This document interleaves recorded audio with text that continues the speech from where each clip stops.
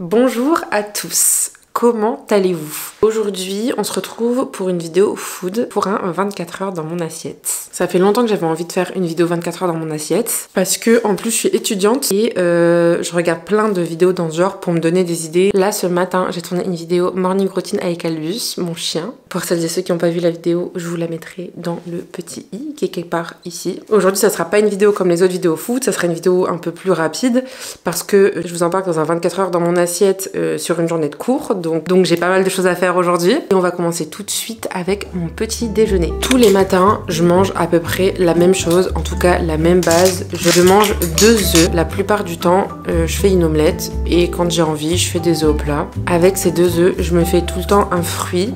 En ce moment, je suis à fond dans les clémentines. Donc aujourd'hui, ce sera une clémentine. Et quand j'en ai, je me fais une demi-tartine sur laquelle je mets un quart d'avocat ou alors fromage frais, comme du Saint-Moré ou du Madame Loïc. Mais en ce moment, pour le mois de janvier, j'ai plus besoin d'un truc réconfortant. Donc je me fais une demi-tartine avec un peu de beurre et de confiture. Et je bois toujours une boisson à côté, un matcha ou un thé avec du lait. Parce que oui, j'adore le thé noir avec du lait. Donc voilà.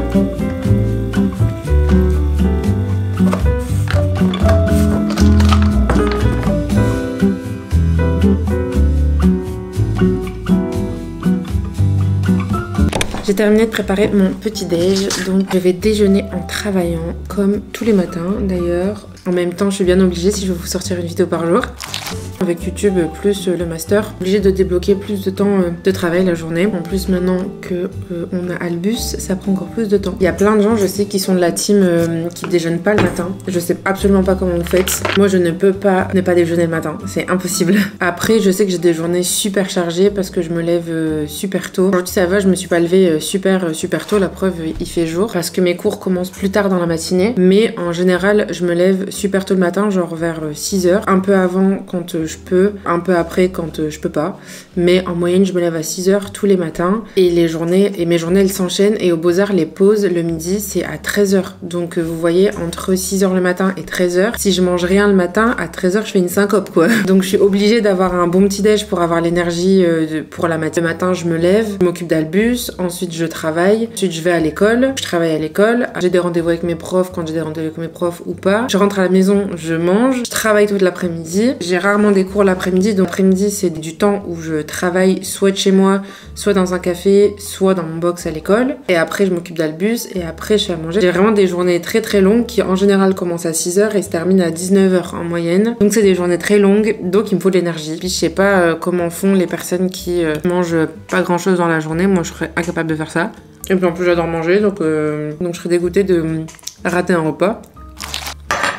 Mais voilà, je sais qu'il y a des gens qui sont de la team pas de petit déj le matin. Et il y en a pour qui, comme moi, euh, c'est impossible. Moi, je suis de la team petit déj et goûter, très important. Bon, je vous laisse, je suis partie pour une petite heure de travail et après je vais en cours. Écoutez, je rentre des cours. Euh, j'ai travaillé ce matin et après j'ai été en cours. J'avais pas beaucoup d'horaire aujourd'hui donc euh, ça va, c'est cool. Mais cet après-midi, je travaille depuis un café. On n'a qu'un seul bureau à la maison quand on est tous les deux à travailler de la maison, donc euh, Enzo et moi. Et euh, j'ai du mal à travailler dans mon lit. Enfin, j'arrive à faire du montage dans mon lit, mais sinon j'ai du mal. Et euh, voilà, donc du coup, moi j'aime bien travailler dans les cafés. Enzo il aime pas du tout, moi j'adore. Donc euh, bah quand on est deux à travailler à la maison, je vais dans un café. Là du coup, je vais me faire à manger, je vais vous montrer ce que je fais. Je vais faire une petite recette très simple que je fais souvent, qui me fait pas cuisiner très longtemps et qui me permet d'avoir plusieurs repas pour plusieurs midis, plusieurs jours. Donc ça c'est cool. Je vais vous prendre avec moi dans la cuisine. Bon, je me suis attaché les cheveux pour éviter de sentir la crevette à fond. Si vous avez des cheveux comme ça, vous le savez, mais quand on fait à manger, euh, c'est un attrape odeur, c'est horrible. Donc j'ai fait un chignon. Et la première chose que je vais faire, c'est que je vais mettre de l'eau à chauffer. J'ai acheté un truc comme ça de crevettes. Et ça, ça va me faire à peu près 3 plats. Et je vais venir éplucher toutes mes crevettes. Moi, je sais que les crevettes, je coupe la tête avec le couteau parce que sinon, ça me dégoûte. Je sais que chacun a sa technique pour éplucher les crevettes. Moi, j'utilise le couteau pour couper la tête. La recette que je vais vous montrer, c'est une recette de curry de crevettes.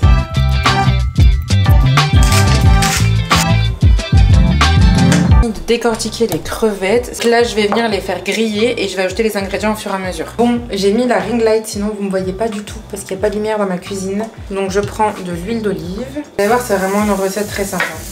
Moi, j'ai une organisation particulière pour mes repas de la semaine. J'en ai déjà parlé dans d'autres vidéos. Les week-ends, avant de faire les courses de la semaine, je fais un semainier de la semaine avec compris dedans euh, les petits déjeuners et les goûters et tout.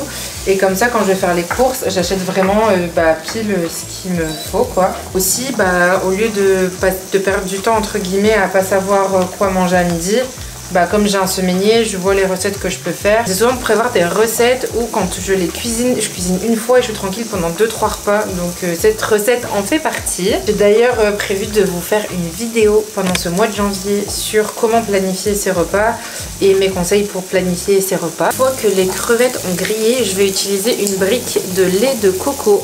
Je vais mettre en entier dans la poêle. On en est là. Il a la sauce qui est en train de se faire et là c'est le riz qui est en train de cuire. Alors vous avez vu j'ai cuit une grosse quantité pour être tranquille toute la semaine. Maintenant dans ça je vais mettre du curry et du curcuma. Donc ces épices là que je prends elles durent une éternité. Plus cher que les autres mais en fait il y a beaucoup plus de grammes dedans. Il y a 75 grammes d'épices ce qui est énorme. Alors que dans les petits pots d'épices en général il y a la moitié. Donc je vais mettre du curry, du curcuma ajouter le jus d'un demi-citron vert. Alors, je vous ai déjà montré, mais à chaque fois, je fais rouler comme ça en appuyant mon citron vert pour éclater un petit peu l'intérieur. Du sel, du poivre. À ce moment-là, j'augmente le feu pour épaissir la sauce. Je laisse genre 30 secondes et c'est bon.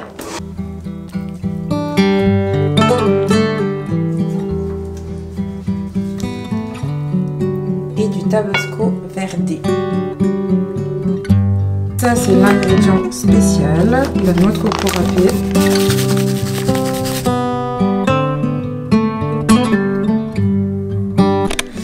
Il y a Enzo qui est rentré de l'école, donc on va manger en même temps ensemble. Et je vais lui raconter des trucs d'une vidéo que vous n'avez pas encore vue et que vous allez voir.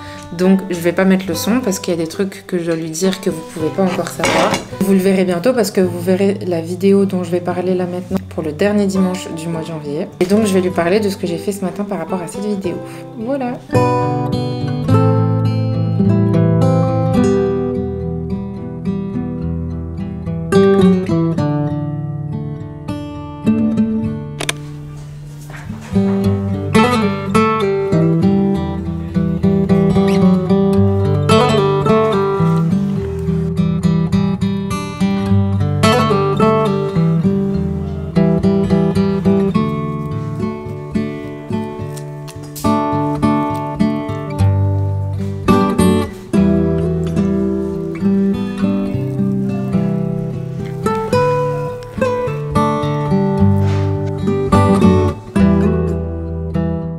24 heures dans mon assiette. On est à quel repas là?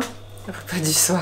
Qu'est-ce que tu regardes ça? 24 heures dans mon assiette, ça tourne. Qu'est-ce que tu nous prépares? Alors, je vous retrouve le soir. J'ai pas la même tête que tout à l'heure parce que j'ai pris ma douche, je suis en pyjama, enfin bref, voilà. Il est tard en plus. Ce soir, on va faire des pizzas, mais on a trouvé ça en magasin. Donc en fait, c'est genre euh, une préparation de pâte à pizza, mais que vous façonnez vous-même. Donc j'en ai déjà vu une, j'ai fait celle d'Enzo là. Elles sont pas très grandes. Non, elles ont les épaisses par contre. Et je vais faire la mienne avec vous pour vous montrer. C'est des boules la pizza? Donc euh, voilà, en fait c'est une boule de pâte. Donc euh, et c'est toi qui la façonne euh, comme tu veux. Bien sûr, je me suis lavé les mains. hein. Moi je vais me faire une nature, toi tu t'es fait une, une au jambon. Je peux toucher. Ouais.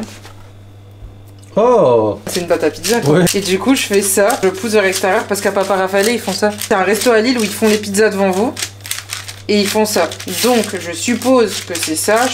Hop, et après je retourne. Et je le fais dans l'autre sens.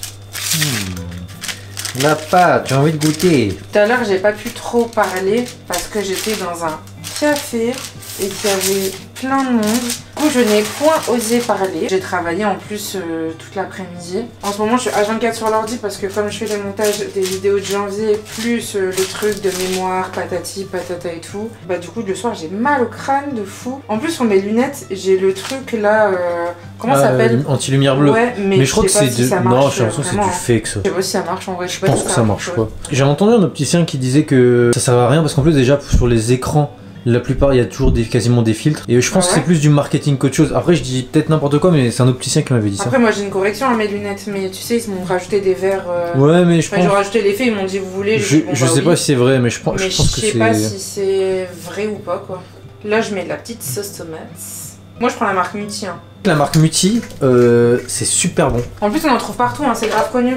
C'est grave connu. italienne. En fait, tu te fais la même pizza que moi là. Non, toi, je t'ai mis du gruyère parce que t'aimes bien, mais moi, j'aime pas le gruyère râpé. Moi, j'aime bien que le gruyère en mode en morceaux. J'aime pas le gruyère râpé, genre. Moi, je suis team mozzarella. Et montre ton super pull là. Il est pas énervé son pull. Genre pull de Noël. Monopoly. C'est ma petite sœur qui me l'a offert. énervé. Il est pas trop stylé, franchement. Ouais, il est vraiment stylé. Et je rajoute un petit peu, t'en veux aussi ou pas, toi? Bah ouais. Un petit peu de parmigiano. Reggiano. Je t'en rajoute. Petite touche. Bah, je suis pas le meilleur cadreur, on va pas se mentir. Hop. Et très important, très très important, rajouter un petit filet d'huile d'olive. Et une fois que la pizza elle est cuite, à la fin, vous rajoutez un filet d'huile d'olive une fois qu'elle est cuite. Mm. Pour que ça ait bien le goût. Et moi, huile d'olive, je prends Carapelli. Ou il y en a il y en a une autre que je prends, euh, tu sais, avec euh, l'espèce d'âne ou le cheval, là, je sais plus dessus. euh. L'huile d'olive, euh, on prend que des bonnes huiles d'olive parce Ouais. que je trouve que c'est trop important. Bah en fait c'est ça. Franchement, il vaut mieux mettre plus cher dans une, dans une huile d'olive. Parce qu'en fait c'est des bonnes graisses Ouais. et surtout c'est c'est enfin, c'est super important pour la santé quoi. De fou. Donc voilà, écoutez, on vous retrouve tout à l'heure quand c'est cuit. À toutes. À toutes. Voilà ce que ça donne, franchement. Pas mal du tout, non En vrai? On fait des cookies. Oula, il y a de la buée. Voilà, des cookies. On a fini de manger. J'ai vraiment une tête là. Oh là là. Franchement, c'était trop bon. Je vous le conseille à 1000%. C'était trop trop trop trop bon. On a mangé euh, ça devant euh, le monde de Narnia. Donc là, on va terminer le monde de Narnia. J'ai fait pendant que les pizzas étaient en train de cuire des petits cookies. On a fait juste un avec du beurre de cacahuète et les deux autres c'est nature. Donc on va terminer ça devant le monde de Narnia et après on fait dodo. J'ai évidemment prévu un verre, que dis-je, une pinte de lait juste ici. Parce qu'évidemment il n'y a pas de cookies sans lait. Écoutez-moi étant qu'il aille dormir parce que là, vu mes cernes, ça va pas du tout. J'espère que cette vidéo vous a plu. Un petit 24 heures dans mon assiette. J'avais envie d'en faire un depuis longtemps donc je suis contente de l'avoir fait. Et euh, nous on se retrouve demain dans une nouvelle vidéo et je vous fais des gros bisous. À demain. Bisous